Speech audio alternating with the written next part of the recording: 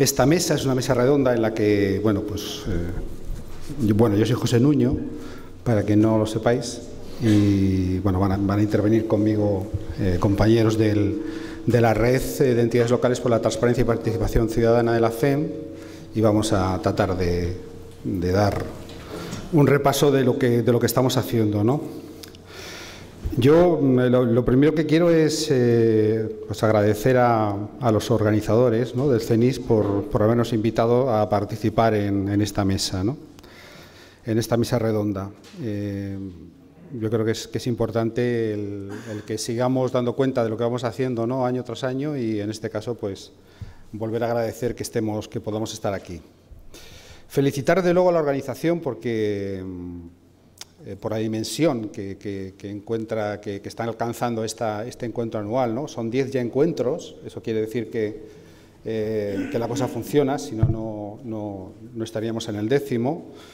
Y felicitarles también por lo que, por lo que se está haciendo y, también por, ahora mismo, quien quiera saber qué es lo que está pasando en, en materia de innovación, en, modernización de las, de las, administraciones públicas, pues es bueno que venga un encuentro como este y, lógicamente, que, esté en él, que participe y, que pueda ver lo que se ha hecho y lo que, lo que se va a hacer. ¿no?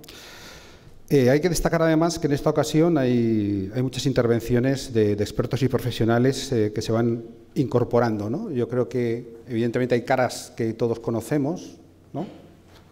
que ya hemos visto. Hay algunos que se han apartado de, esta, de, este, de, esta, de este encuentro y otros que seguimos, ¿no? con mi cara, por ejemplo, pues sí, también sigo.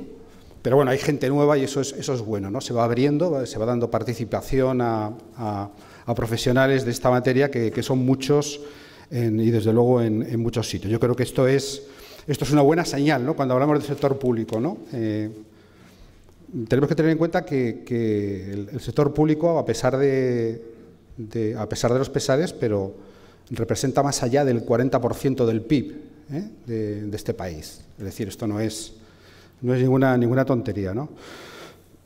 al margen de su importancia cuantitativa, evidentemente, la, yo creo que, la, que, es un porcentaje alto, pero desde el bueno es, es fundamental que las organizaciones eh, trabajen de manera, de manera adecuada. En el caso español yo creo que hay ejemplos de, excelencia en, la gestión de servicios públicos, eh, todos conocemos, eh,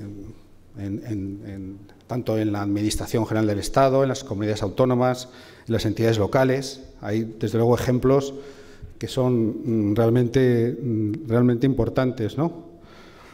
y que todos conocemos. No obstante, eh, sí hay un problema en cuanto al, a que esto sea estructural o, sea algo eh, concreto en, alguna u otra administración pública. ¿no? Eh, en muchas ocasiones la falta, la falta de incentivos ¿no? son, son culpables ¿no? de, esta, de esta situación, ¿no? a pesar de, de, la preocupación que se muestra. Este, estos dos días son un ejemplo ¿no? de, la, de la preocupación que hay por tratar de hacer las cosas lo mejor posible Evidentemente, no, en muchas ocasiones no, no, es, posible que, así se, haga. ¿no? Seguramente es necesario un liderazgo a, largo plazo y un liderazgo eh, no solamente técnico, ¿eh? es un liderazgo político. Yo he hecho de menos, seguramente, en un encuentro de este tipo, eh, algún discurso político, de algún político que, pudiese, pudiese hablar de estos temas al nivel que estamos o que vais a hablar vosotros estos, estos dos días. ¿no? Em, evidentemente, esto tiene que, hacernos conscientes ¿no? de, la, importancia, ¿no? de, la importancia del barco en el que estamos metidos, ¿no? tanto en, en unas administraciones como, como, de las otras. Y de luego la, la importancia de, los, de las personas que integran eh, o que integráis eh, estos, estas eh, organizaciones. ¿no? Eh, quiero, en este sentido, por pasar ya de las, musas al teatro, desde luego, pues agradecer especialmente a todo lo que me acompaña en esta mesa eh, por sus constantes aportaciones a los temas de que nos ocupamos en la red. Eh, sin ellos, de luego, nada de lo que vamos a contar en los próximos minutos sería posible, sin, el trabajo de ellos. Cuando llevas ya muchos años en, trabajando en la Administración o para la Administración o para el sector público en general, yo creo que el poder contar con profesionales eh, como los que me acompañan ahora es motivo de orgullo, luego para mí lo es. A lo largo de mi recorrido laboral, lógicamente, siempre he tratado de reunirme de personas eh, con alta valía y con alta profesionalidad. Eh, y este es el caso también de ahora. Además, yo creo que este debería ser un principio general ¿no? de todas las administraciones y de todas las organizaciones, ¿eh? rodearse de buenos profesionales porque los hay y todos, todos, todos, los, todos lo sabemos. Entonces, a esta mesa había previsto algunas eh, intervenciones más, no, no, van a poder estar aquí, como Joaquín Meseguer, porque tiene un compromiso anterior, eh, José Ignacio Pastor, que no ha podido venir, o el caso de Ferran Martos, que está convaleciente de un, de un tema físico, un problema físico que tuvo.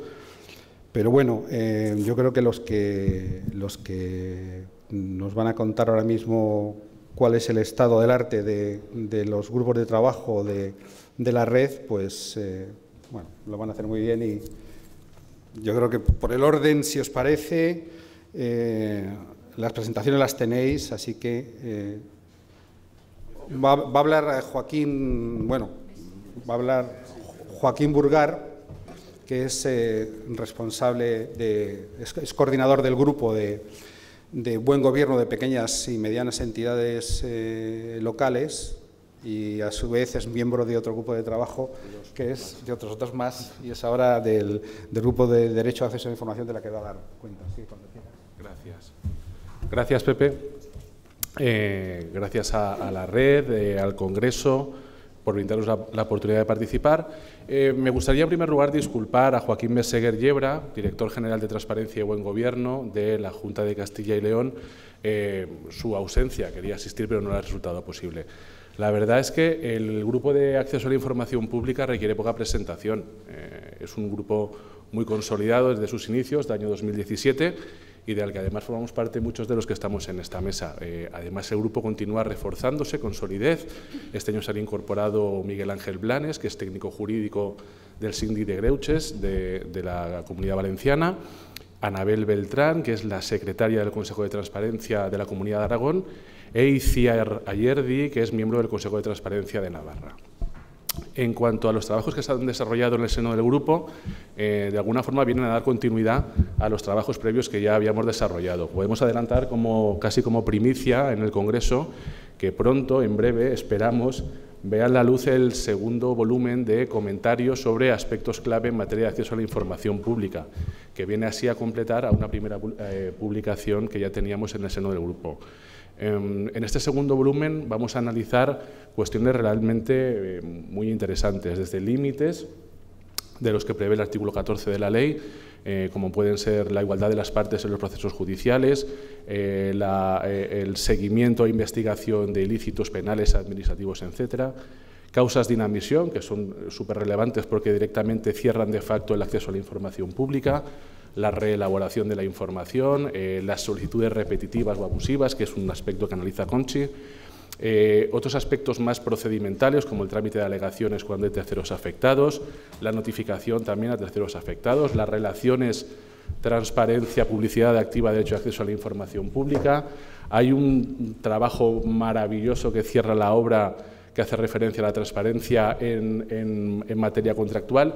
En definitiva, es eh, una continuidad del primer volumen de comentarios sobre aspectos clave en materia de acceso y se une también a las otras publicaciones que teníamos en el seno del grupo, como la guía de procedimiento de acceso a la información pública local. Eh, por otra parte, seguimos ampliando el volumen de recursos que existe en la biblioteca de documentos, que está alojada en las comunidades de, del INAP, en la comunidad virtual del INAP, ya contamos con más de 700 documentos incorporados como recurso a las bibliotecas virtuales. Eh, yo creo que tenemos cercana, eh, casi rozando la perspectiva de los 800. Joaquín seguramente hablaría de 1000. Eh, vamos a quedarnos en 800 y así el año que viene rendimos cuenta y lo rendimos en positivo. También durante 2019 el grupo hemos participado en el proceso participativo que se inició para la elaboración y aprobación del reglamento de desarrollo de la ley de transparencia. No es una entelequia el reglamento, de verdad que yo he visto dos versiones de él ya, hemos participado en dos versiones, en dos borradores, em, esperamos que ojalá sea la última, que no haya dos sin tres o que la segunda vaya a la vencida, en fin. Lo cierto es que eh, es un trabajo que periódicamente eh, participamos en la seno del grupo. De cara al futuro, eh, pues vamos a, seguramente, ya estamos trabajando en el grupo en una, en una nueva publicación que de alguna forma se va a apartar, se va a separar de los trabajos precedentes. En este caso vamos a analizar o vamos a trabajar con periodismo de datos y sus relaciones con el derecho de acceso a la información pública y una segunda derivada que es cómo este periodismo de datos eh, vinculado con el acceso a la información posteriormente redunda en una mejora de la gestión pública. Al menos esa es la intención. Yo creo que va a ser una obra ciertamente atractiva. Por lo demás, continuaremos con la realización de acciones eh, de formación, tanto teórica como práctica, a todos los niveles, político, directivo y técnico. Es muy importante, como bien decía Pepe, eh, contar con la, con la, colaboración y la participación activa de la, parte, de la parte política. Continuaremos con la actualización de la biblioteca de documentos hasta alcanzar ese objetivo que os comentaba antes y finalmente continuaremos pues, en la línea de los, de los trabajos previos participando en propuestas normativas en el ámbito de la transparencia. Muchas gracias.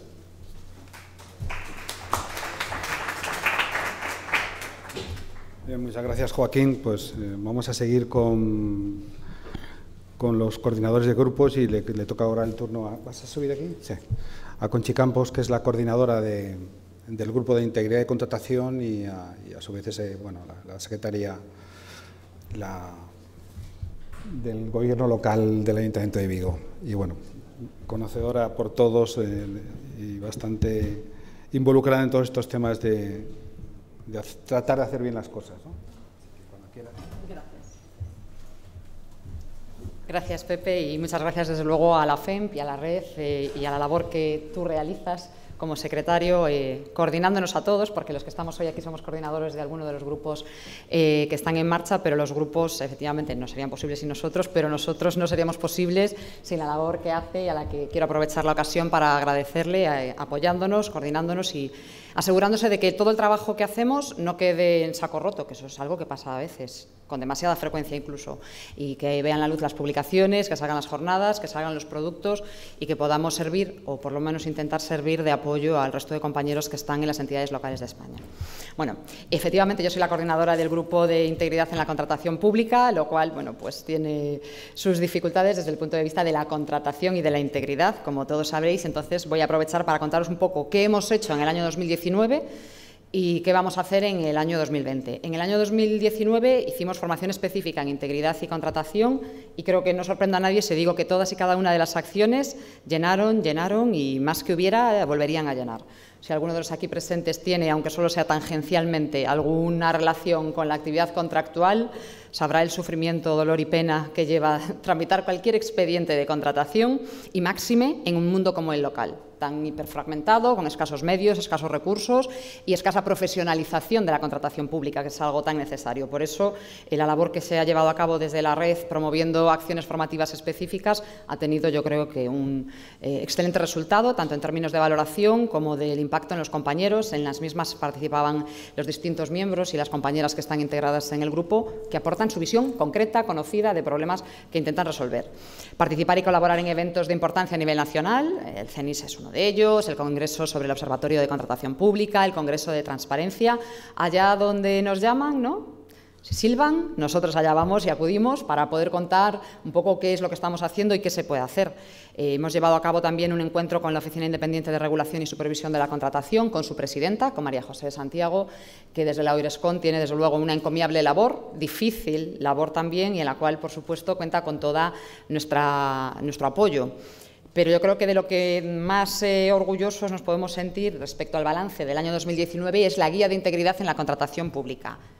Está en formato accesible, completamente gratuito. No tenéis más que entrar en la página de la FEMP, en la red de entidades locales por la transparencia, y allí os la podréis descargar. Era la continuidad a un primer trabajo que hicimos en el 2018, que era el decálogo de integridad en la contratación pública, que también está allí, absolutamente disponible, y que realmente es un gran trabajo editorial. Eh, hemos contado, pues porque los tenemos dentro del grupo, con muchos de los mejores expertos y expertas que tenemos en España en contratación pública. Eh, no voy a nombrar a ninguno para no dejar a ninguno sin nombrar, así no me meto en ningún jardín, pero tengo que decir que es un documento que merece la pena consultar y que estoy segura que sirve de apoyo. Además me consta que no solo en España, sino en LATAM ha sido ampliamente difundido y descargado y utilizado además como un volumen y un recurso eh, de apoyo. La realización de un estudio sobre el grado de implantación de la normativa, bueno, eh, una encuesta que hiciéramos ahora mismo aquí en el CENIS también nos daría unas eh, interesantes eh, conclusiones que evidentemente aprovecharemos para las labores que vamos a llevar a cabo en el 2020 y desde luego un reconocimiento, el acceso a los primeros premios de integridad en la gestión pública en la categoría institucional a este grupo, entendiendo que como dice la OCDE, la actividad que mayor riesgo de corrupción tiene es la contratación. Por lo tanto, que haya un grupo específico dentro de la FEMP y dentro de la red dedicado exclusivamente a la integridad en la contratación es objeto de reconocimiento y nos congratulamos por ello. ¿Qué vamos a hacer en el año 2020? ¿Qué estamos haciendo? Porque ya estamos en marzo y ya hemos empezado a trabajar. Bueno, pues continuaremos con la formación específica en integridad y contratación. ¿no? Cualquier vuelta por las actividades de formación que se programan desde los distintos institutos de administración pública, escuelas, formación, Contratación, contratación, contratación. Pues nosotros seguiremos con la contratación, con los expertos y tocando aquellos puntos que, que, nos han resultado como más evidentes como consecuencia del estudio anterior. Seguiremos participando y colaborando en eventos de importancia a nivel nacional. Aquí estamos abriendo líneas de colaboración con la OIRESCON. Ellos tienen una labor muy destacada de prevención y lucha contra la corrupción, de análisis de los datos en materia de eh, corrupción y, por lo tanto, no podemos sino trabajar eh, de la mano de ellos. Y en marcha ya la elaboración y la publicación de una guía de buenas prácticas en materia de contratación. Damos continuidad así a la primera guía, que era mm, un poco el análisis de la ley, cómo aplicarla en las entidades locales, pero esto ya es cómo la hemos aplicado. Es decir, vamos a mapear qué se ha hecho tenemos ya medio mapeado, en el conjunto del Estado español, especialmente a nivel local, en materia de contratación, para intentar aplicar una terrible ley por su complejidad, su extensión, su confusión, su mala técnica normativa, poco hay que contar. Y las vamos a contar ahí, para que podamos también publicar en abierto y que todos tengamos esta herramienta tan útil para todos. Y el análisis de las conclusiones del estudio. Claro, el primer paso para poder resolver un problema es saber que tienes un problema, de qué naturaleza es, ¿no? el diagnóstico. Pues este estudio que se ha llevado a cabo nos ha dado una información de mucho valor, muy valiosa para la formación, para las actividades y sobre todo para intentar ayudarnos a todos a resolver lo que nos ha hecho la ley de contratos del sector público. Esto es lo que tiene la ley. Como decía, eh, más de 300 artículos, 50 y pico disposiciones adicionales, transitorias, finales, hacen que resulte muy difícil aplicarla en el Ministerio de Defensa y en el municipio de 150 habitantes. Por eso, desde el Grupo de Integridad en la Contratación Pública, queremos intentar, esperemos conseguirlo, ayudar a aplicarla. Muchas gracias.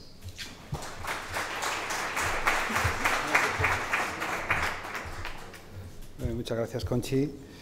Eh, y le corresponde ahora bueno, pues a, Borja Cono de Carvajal, que es eh, jefe de servicio de, de la Diputación de, Castellón y además eh, coordinador del Grupo de Innovación Pública de, la red. gracias, gracias Pepe. Eh, buenos días a todos. Gracias a Pepe, gracias a la organización por contar conmigo un año más eh, y gracias a, a, los compañeros coordinadores del resto de grupos porque la verdad es que es un grupo técnicamente muy potente, muy muy prolijo en cuanto a su trabajo e incansable en cuanto a sus iniciativas. Eh, simplemente, nada, muy rapidito contaros eh, qué hemos estado haciendo a lo largo del 2019 y fundamentalmente qué vamos a hacer a lo largo del 2020. Simplemente deciros que el, año pasado nos centramos básicamente en publicar la guía para el buen gobierno local, una guía que, como decía Conchi, también tenéis en abierto eh, en la página web de la red y de la FEM. es una guía que os recomiendo a todos encarecidamente. Eh, se publicó a finales del mes de diciembre, un poco tarde, queríamos haberlo hecho antes, pero digamos que las agendas nos lo impidieron y entendimos que era un manual de bienvenida para los cargos electos en el nuevo, en el nuevo proceso, en, la nueva legislatura. Eh, me vais a permitir que, que os cite siquiera los capítulos para que veáis un poco la importancia de la misma. Es decir, intentamos condensar en una guía muy escueta apenas 100 páginas, los 12 eh, las 12 patatas calientes de los alcaldes y concejales en la nueva legislatura, es decir, el estado del arte de los temas más importantes que se iban a encontrar en sus ayuntamientos. En primer lugar, retos de presente y futuro de los gobiernos locales a nivel institucional por Carles Ramió. En segundo lugar, eh, introducción a un nuevo enfoque en, innovación pública por Paco Rojas y, yo mismo. En tercer lugar, Conchi Campos nos escribió sobre gobierno abierto y digitalización. En cuarto lugar, eh, nuestro compañero, le mando un saludo desde aquí a Víctor Almonacid, cronología de, una transformación digital. En quinto lugar, situación y desafíos y propuestas de política de recursos humanos por el maestro Rafa Jiménez Asensio. En sexto lugar, planificación, gestión y rendición de cuentas por el, compañero Alberto, que hace un momento visto por aquí, Alberto Ruiz de Zárate. Eh, en séptimo lugar, eh, derecho de acceso a información pública por el compañero Joaquín Meseguer. Octavo, retos de la contratación pública electrónica, Pilar Batet. En, noveno lugar, protección de datos, Ascensión Moro. En décimo lugar, toma de decisiones con datos eh, por el compañero Roberto Magro. un décimo lugar, marcos de integridad institucional, por la compañera Goizada Hermanotas.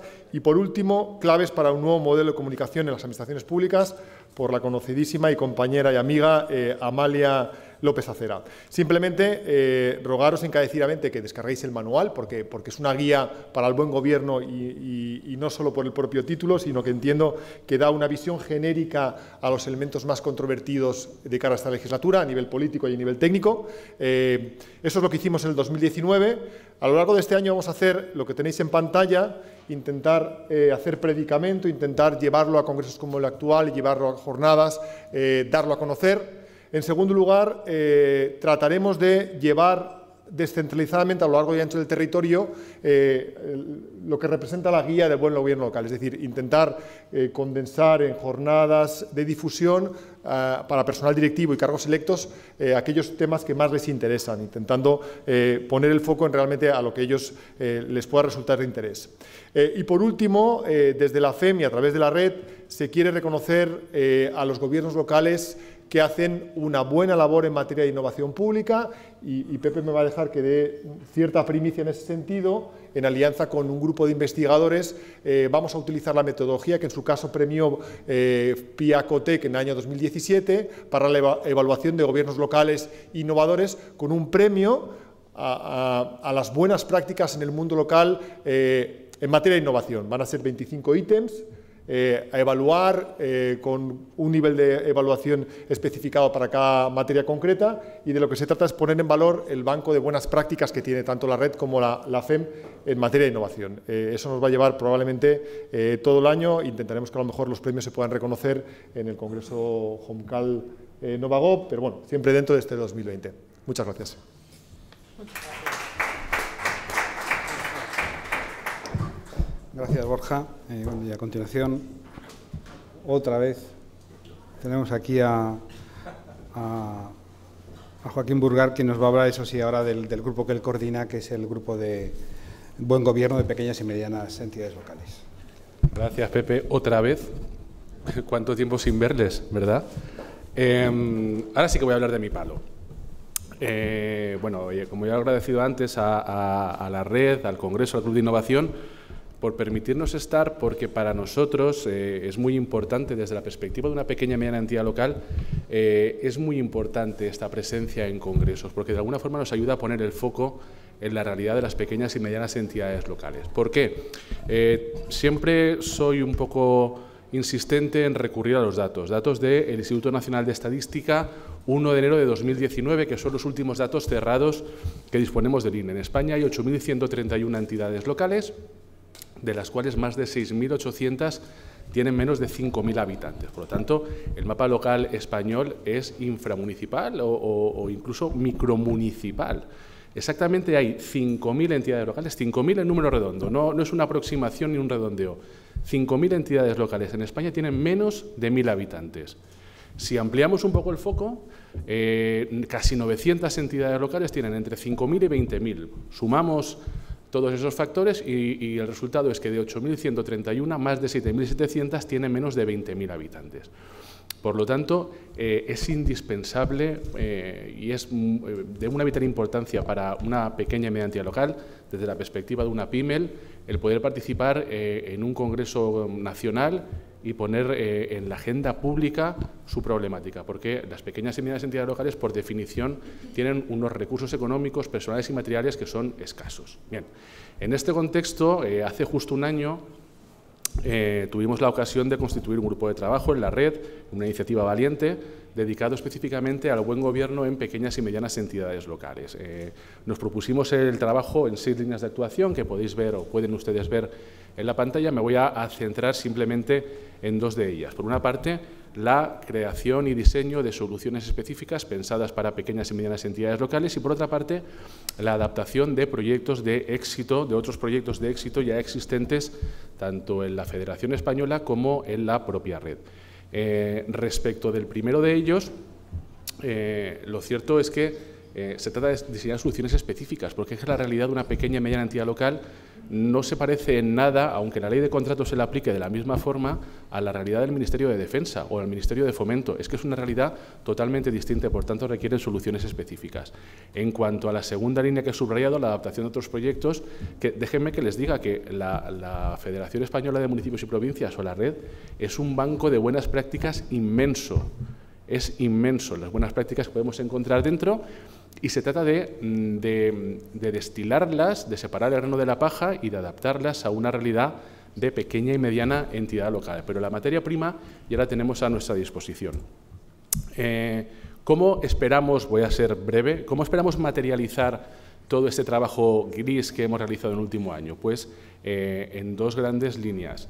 La primera es lo que eh, hemos dado en llamar la colección de guías básicas para pequeñas y medianas entidades locales. Hemos identificado cuatro ámbitos de actuación preferente, casi diríamos de actuación urgente o inminente para una pequeña y mediana entidad local, que son los cuatro que pueden ver proyectados. Funcionamiento electrónico, transparencia y acceso a la información pública, protección de datos y esquema nacional de seguridad y contratación pública electrónica. De hecho, los datos internos que manejamos en la propia red eh, avalan totalmente el priorizar estos ámbitos. Eh, dentro de estos ámbitos hemos identificado una serie de aspectos que consideramos que son esenciales y además los hemos graduado en función de su complejidad y de la necesidad de su implantación. Así hemos establecido un nivel básico y un nivel avanzado para que cada entidad local pueda eh, iniciar su proceso de transformación interno y externo en el punto en el que se encuentre respectivamente. Para ello contaremos con una autoevaluación previa y finalizamos eh, cada una de estas guías básicas que esperamos que empiecen a ver la luz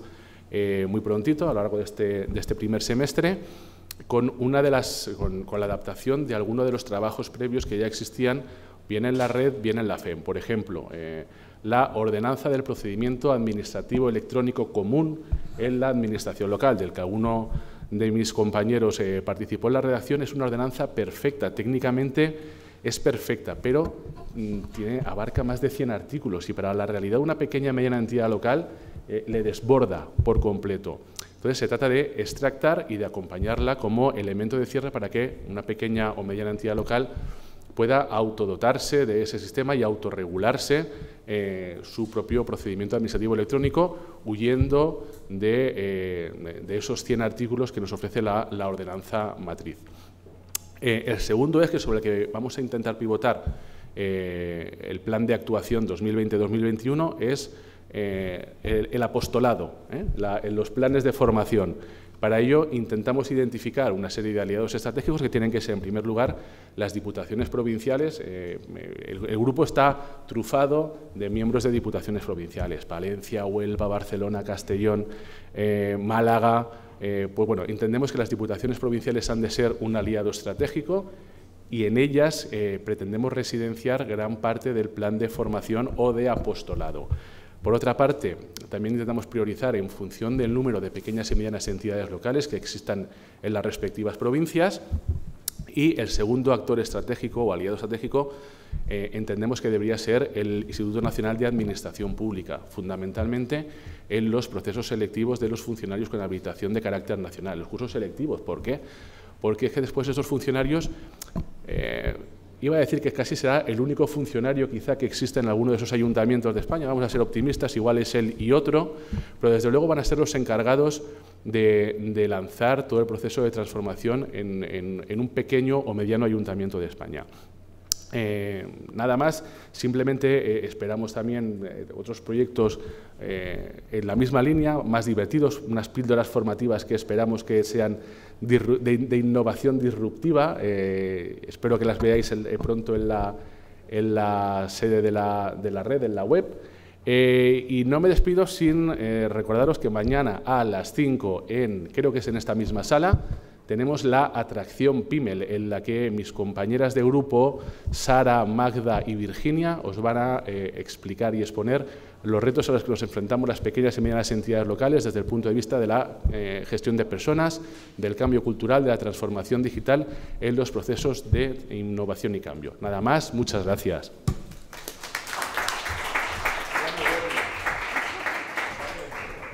Bueno, Joaquín, luego si quieres al final también tienes otro rato. ¿eh? O sea que, bueno, ya le toca a, Roberto Magro, que viene desde el Ayuntamiento de Alcobendas y, se encarga de la coordinación del grupo de, datos abiertos.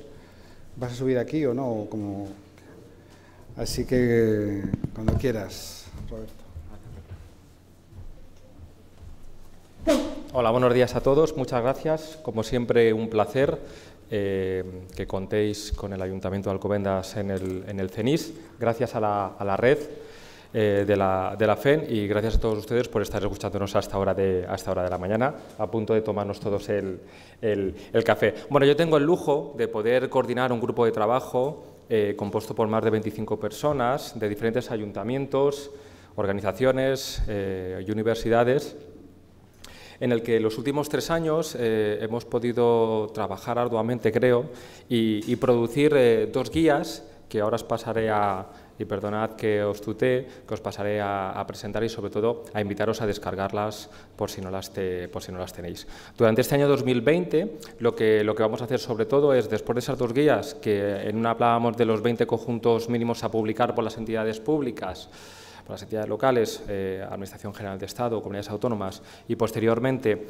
la guía de donde ampliábamos nuestra propuesta de 40 conjuntos de datos, pues bueno, pues este año queremos intentar llegar al medio centenar, a los, a los 50 para intentar llegar a los 50 conjuntos de datos, lo primero que vamos a hacer es eh, trabajar conjuntamente eh, con lo que está llevando a cabo el proyecto financiado por Red.es de Ciudades Abiertas, donde, cuenta, eh, donde está el Ayuntamiento de, de, Zaragoza, de Madrid, de Santiago de Compostela y A Coruña. Ellos están revisando también parte de los conjuntos de datos que eh, nosotros hemos propuesto para abrir desde las, eh, administraciones públicas y están sobre todo trabajando con, vocabularios, con cómo poner la información y de qué forma en cada uno de esos conjuntos de, datos. En ese sentido vamos a intentar reutilizar esa información que es pública y para, subirnos al, medio centenar de conjuntos de datos, eh, intentar tenerlos definidos en este año. Cuando el año pasado estuvimos en Sevilla trabajando el, grupo y, revisando el trabajo que habíamos hecho, el, Instituto Geográfico Nacional nos, eh, eh, nos, comentó que eran mejorables la información geográfica o georreferenciada eh, a la que hacemos referencia los, conjuntos, los 40 conjuntos de datos. En ese sentido, este año vamos a contar con su estimable colaboración para revisar esos 40 conjuntos de datos y todo lo que tiene que ver con cómo debemos poner la información georreferenciada cuando podemos en alguno de ellos, pues esa va a ser una línea de actuación para este año 2020. También contamos aquí en esta sala ah, con una eh, especial colaboradora que es Nuria Portillo, directora de la Cátedra de Gobierno Abierto de la Universidad Politécnica de Valencia, eh, a la que he invitado a que se sume a este, a este grupo, porque ellos están haciendo un trabajo muy interesante sobre cómo evaluar los objetivos de desarrollo sostenible desde los datos abiertos. En ese sentido, ellos ya han estado evaluando eh, qué podíamos aportar en esos 40 conjuntos de datos para, dar cumplimiento a los ODS y esa va a ser la línea de actuación y de colaboración que espero que llegue eh, Nuria a buen puerto durante este, durante este año. Como bien han dicho mis compañeros, jornadas como esta del, del CENIS, eh, Homcal o, Novagop, que llegarán en el mes de noviembre a, Málaga o un poquito antes, eh, posiblemente en el Congreso Internacional de Transparencia en las Islas Canarias, pues serán lugares donde desde las administraciones públicas y donde desde nuestros diferentes grupos eh, intentaremos difundir el trabajo que se haga a lo largo de este año 2020, sobre todo para que lo podáis reutilizar cualquiera de vosotros y de vosotras en vuestras administraciones públicas. Y queremos también, porque hay una relación estrecha con, con Red.es, con el Ministerio, eh, porque al final es, es el nexo también con los grupos de trabajo que trabajan eh, con los datos abiertos en las comunidades autónomas, pues eh, tendremos diferentes reuniones dentro, dentro de la red y también en el ámbito de los, de los, datos abiertos para intercambiar información, porque sabemos que lo que se está haciendo como, como España, como país, es bastante interesante y, vamos todos bastante eh, alineados, comunidades autónomas, entidades locales y el propio Gobierno de, de, de la Nación. ¿no? De hecho, algunos, algunos de los ejemplos de la normativa europea eh, se están basando en, lo que estamos haciendo en nuestro país. Entonces, creemos que es un camino en el que debemos seguir mejorando lo que hacemos y, espero que a lo largo de este año eh, podamos conseguirlo. Como, como les decía, como os decía, estas son las dos guías que hemos podido producir gracias a la colaboración desinteresada de esas personas de las que les hablaba. En, la primera de finales del año, creo que ya fue 2017, eh, intentamos hacer una guía bastante didáctica para que cualquier persona, bien fuera de la administración pública o, ciudadano o ciudadana de a pie, pudiera entender qué es eso de los datos abiertos o incluso cómo poder empezar a montar un proyecto en nuestra, en nuestra entidad.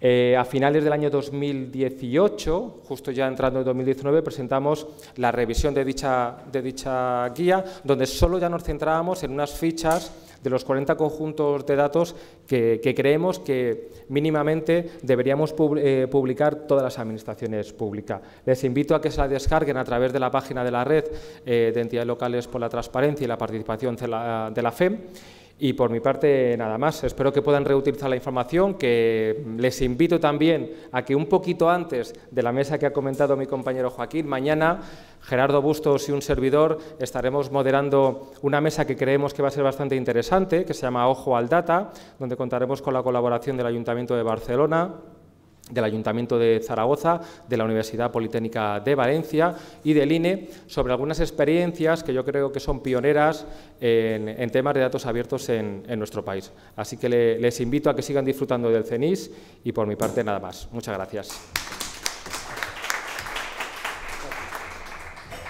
Muchas gracias, Roberto. Bueno, ya eh, para finalizar, pues le toca el turno a Virginia Moreno, que ya es la coordinadora del Grupo de, Seguridad y Protección de Datos e Identidad Digital y además directora general del Ayuntamiento de Leganés. Así que cuando quieras, Virginia. Gracias, Pepe.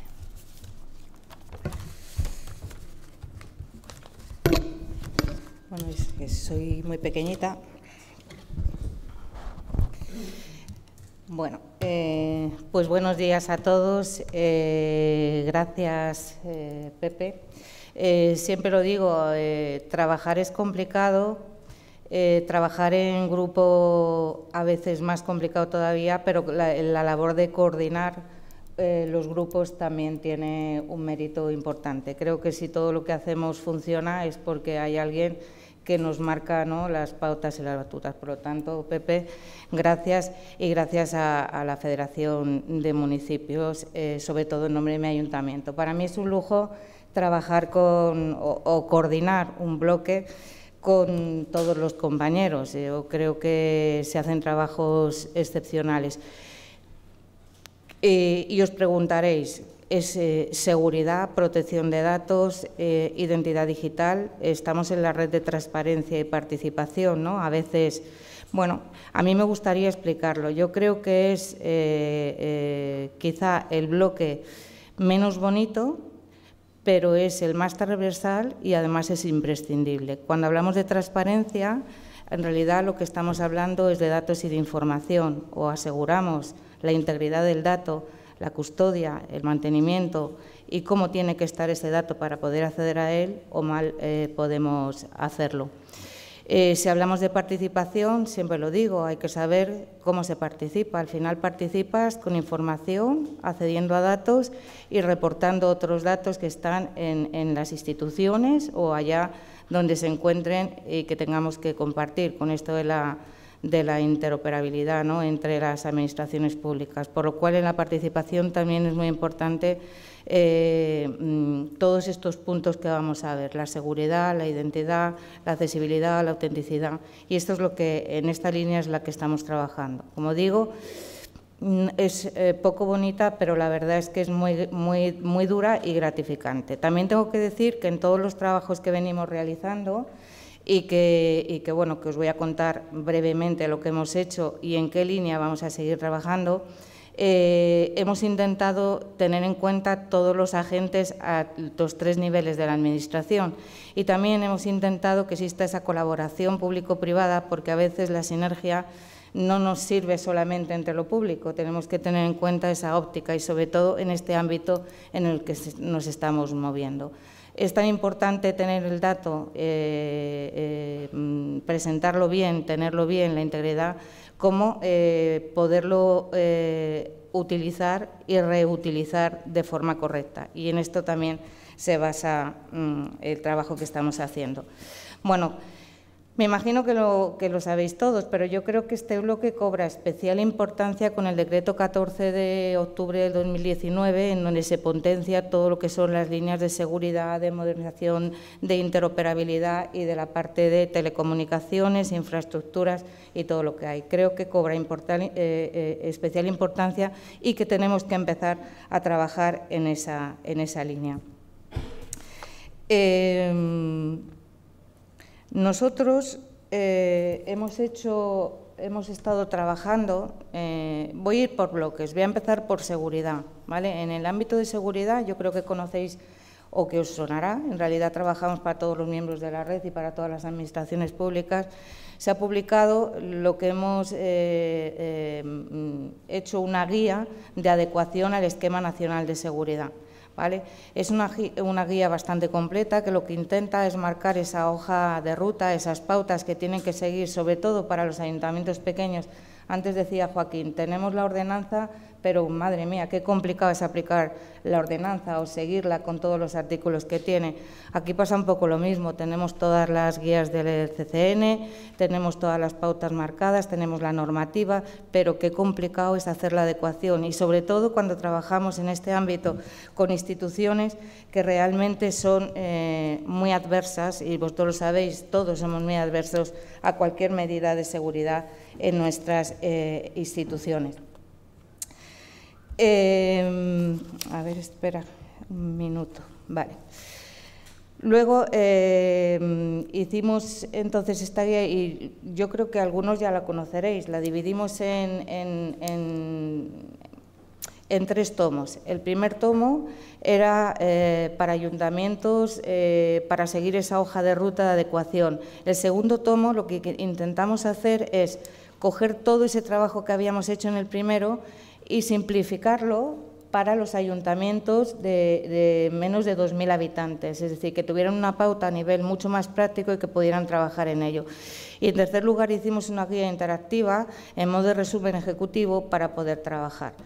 Eh, en seguridad hemos estado haciendo a lo largo del año pasado eh, talleres, sobre todo hemos trabajado mucho con diputaciones porque abarcan todos los municipios pequeños, talleres de seguridad intentando eh, hacer de forma conjunta y salir del taller sabiendo cómo tengo que conformar ese programa de trabajo para la adecuación al esquema, ¿vale? Sobre todo, si no puedo hacer la adecuación al esquema, saber qué riesgos tengo y qué análisis de esos riesgos tengo que hacer en mi institución. Y luego, por otro lado, saber hacer un, un programa de trabajo para la seguridad. En eso hemos estado trabajando. Aparte de que en todos los bloques, y no lo repetiré más, también hemos estado presentes en todas las, eh, bueno, en los foros y en todos los sitios donde podemos transmitir y podemos hacer divulgativo todo el trabajo que llevamos, eh, que llevamos a cabo. En cuanto a identidad digital, eh, pues bueno, parece que asociamos identidad digital con lo que son el uso de los certificados. Sí, claro, eh, que también es complejo, también es complejo. Yo creo que ya una vez rota esa barrera de, uso de certificados para acceder a la información o para acceder a los servicios, tenemos que empezar a trabajar en lo que son servicios de certificación, es decir, todo ese abanico de posibilidades que nos dan y así publicamos la Enciclopedia de Servicios de Certificación para las Administraciones Locales. Eh, bueno, yo tengo que, voy a hacer también publicidad. Tengo que aprovechar para deciros que esta tarde, eh, en esta misma sala, eh, después de una firma de protocolos que tenemos y donde está pues mi alcalde, está el alcalde de Roberto del Ayuntamiento de Alcobendas, varios ayuntamientos firmamos un protocolo dentro de un ámbito de de trabajo, de compartir y de colaborar en todo ese proceso de transformación digital, vamos a tener una mesa donde vamos a presentar todo lo que es el trabajo de identidad digital. Identidad digital desde el punto de vista eh, de certificado, desde el punto de vista de prestación de servicio y de lo que tenemos ahora que sirve, que nos sirve, yo creo que va a ser interesante. Eh, ¿En qué vamos eh, a trabajar a partir de ahora en identidad digital? Bueno, sobre todo en promover, en promover qué servicios y qué tipología en cuanto a certificados tenemos que hacer en, nuestras instituciones. También hemos trabajado otro bloque que me parece eh, que es fundamental, es sobre eh, protección de datos. ¿Qué hemos hecho? Hicimos una guía que la hicimos en su momento cuando apareció la nueva normativa, que era adaptación al nuevo Reglamento General de Protección de Datos y Garantía Digital. ¿Qué pasa? En este bloque eh, la verdad es que tenemos que, ir, eh, tenemos que ir adaptando y tenemos que ir cambiando. En la primera parte que publicamos la guía, lo que hicimos fue ver eh, o definir mejor cuál era el papel del delegado de protección de datos, cómo teníamos que actuar, cómo teníamos que desarrollar. Ahora tenemos que trabajar en otra línea. Yo creo que el trabajo que vamos a empezar ahora es un, un trabajo también tengo que decir, liderado por el Ayuntamiento de Barcelona, por Git San, y trabajando con otro grupo de personas que luego no quiero dejar de dar las gracias también, pero que no puedo nombrar a todas. Y vamos a hacer un, un modelo 2020 que lo que se trata es de hacer un registro de tratamiento que defina o que estandarice cuáles son los datos según el artículo, datos imprescindibles según el artículo 30, los datos de riesgo que tengo que tener en cuenta y los datos que necesito a nivel administrativo. Yo creo que esto va a ser una herramienta magnífica de trabajo que la vamos a preparar y que estamos empezando a trabajar en ella.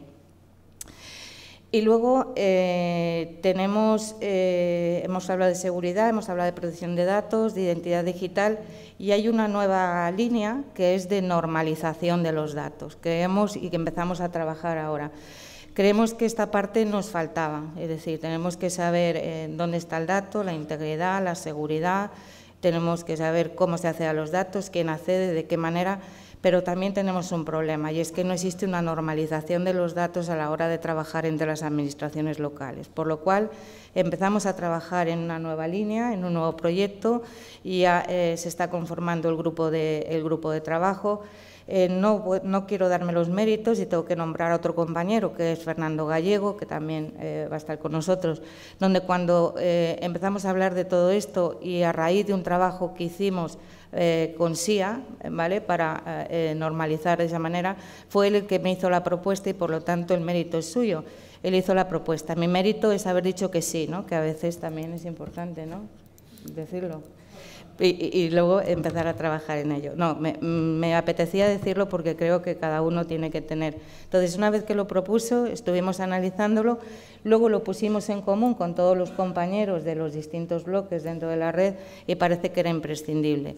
Vamos a trabajar en la interoperabilidad semántica, la normalización de los datos para todos los procesos con los que trabajamos entre las distintas administraciones locales. Ya se ha hecho algo para la parte de contratación, quizás lo que más esté lo más avanzado, pero tenemos que hacerlo para el resto de, las áreas y los procedimientos.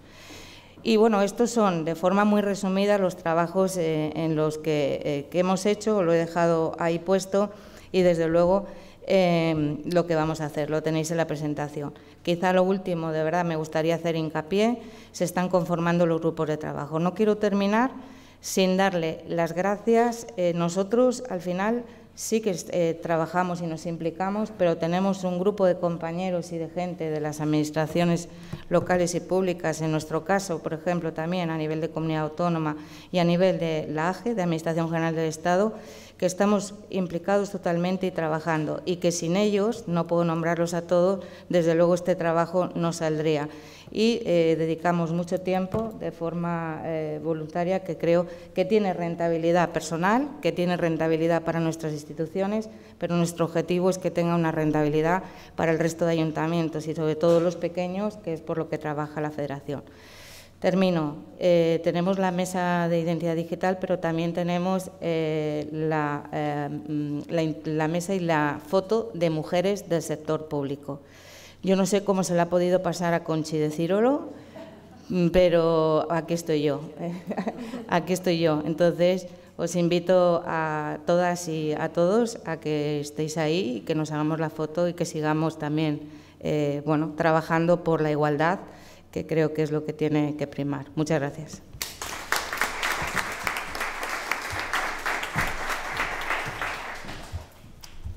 Bien, muchas gracias Virginia. Bueno, yo creo que, ha sido un repaso rápido, pero mm, yo creo que, consistente de lo que realmente se hace dentro de los grupos de trabajo. Los grupos de trabajo que son realmente los grupos de trabajo y las personas que integran esos grupos de trabajo son el corazón de la red. Eh, a partir de ahí surge, surge todo lo demás. ¿no? Eh, yo no sé si hay a lo mejor alguna pregunta, alguna cuestión que queráis hacer en relación con estos temas, aprovechando que están ellos aquí.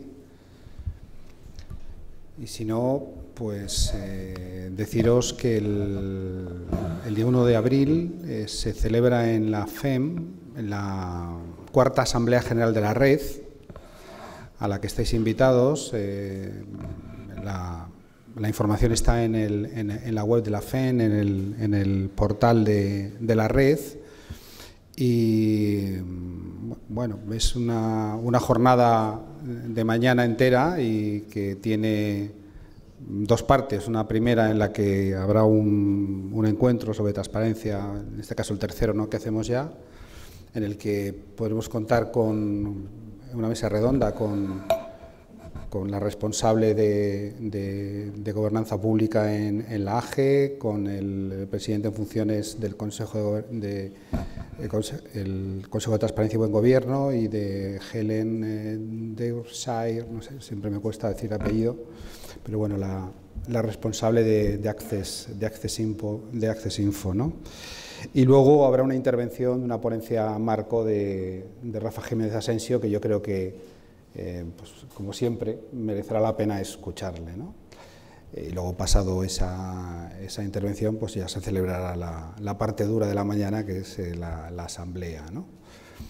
estáis, como os he dicho, invitados y, y bueno, pues dar las gracias a, a, vosotros por estar aquí y a ellos por, por, su trabajo y por también estar aquí y contar lo que hacen. Nada, muchas gracias.